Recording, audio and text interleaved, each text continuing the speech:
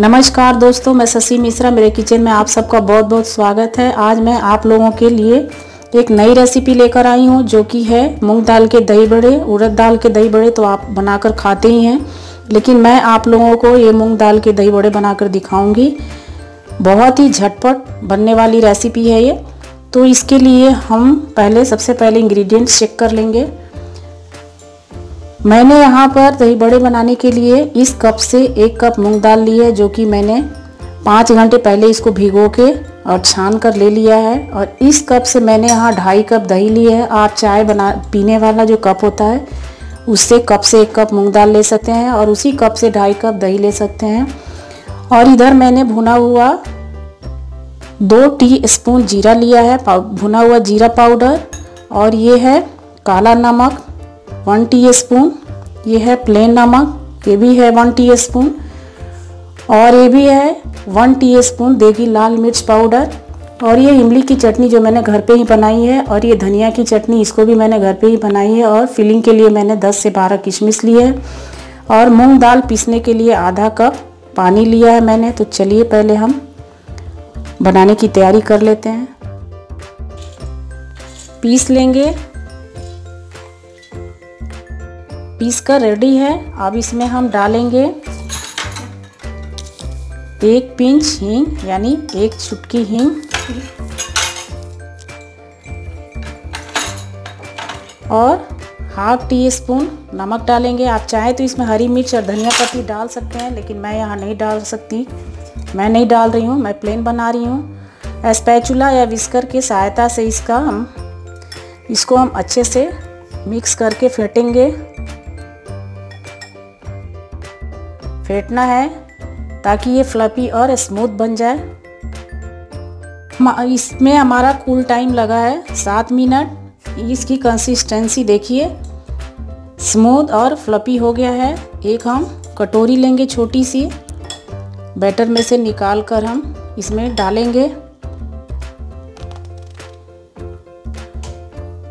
देखिए, ये ऊपर आ जाता है तो समझ लिए हमारा बैटर बहुत ही अच्छे से बन गया है। अब हम बड़े तलने की तैयारी कर लेंगे। तेल डाल दिया है तेल भी अच्छे से गर्म हो चुका है और बड़ों को पानी में डालने के लिए मैंने यहाँ पर एक पैन में पानी रख दिया है और उसमें एक चुटकी हींग डाल दी है। पानी में उबाल आ चुका है। अब हम गैस ऑफ़ कर देंगे और बड़े के तलने की तैयारी करेंगे। तो एक छोटी सी कटोरी लेंगे और चम्मच से बैटर को इसमें डालेंगे।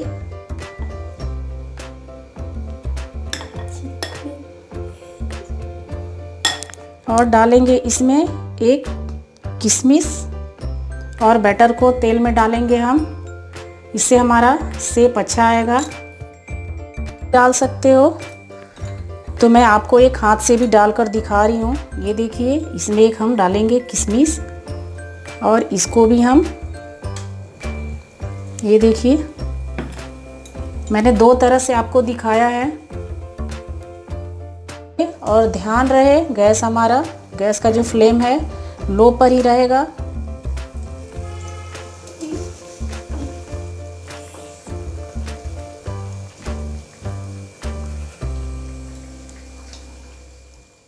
गोल्डन फ्राई हो चुके हैं, अब इसको हम गरम पानी में निकाल कर डाल देंगे।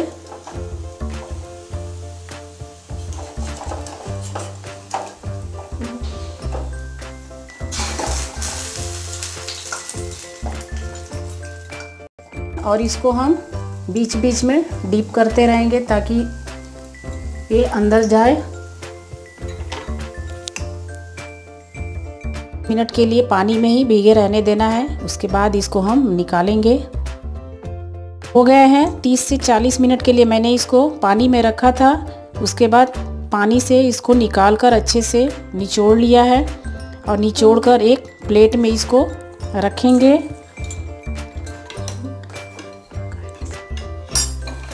अब इसकी करेंगे हम गार्निशिंग।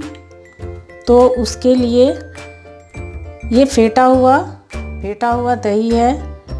तो सबसे पहले हम इसके ऊपर दही डालेंगे।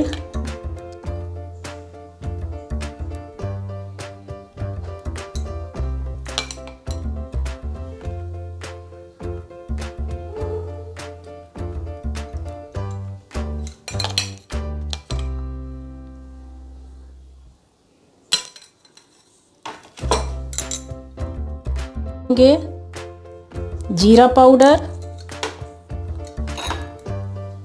काला नमक, ये अपने स्वाद के हिसाब से डाल सकते हैं। उसके बाद हम डालेंगे कश्मीरी लाल मिर्च।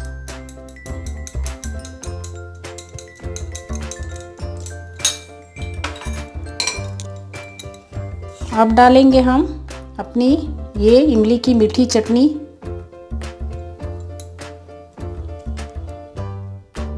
चटनी।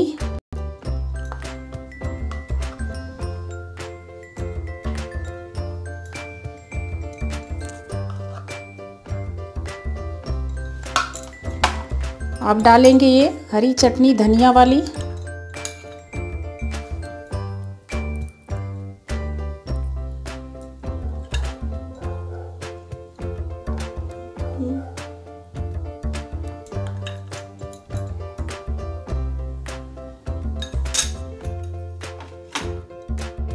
तो आप भी ट्राई करें। उम्मीद करती हूँ कि आपको ये रेसिपी बहुत ही पसंद आई होगी। अगर आज का वीडियो आपको पसंद आई हो तो इस वीडियो को लाइक करें शेयर करें और मेरे चैनल को सब्सक्राइब ज़रूर करें। धन्यवाद।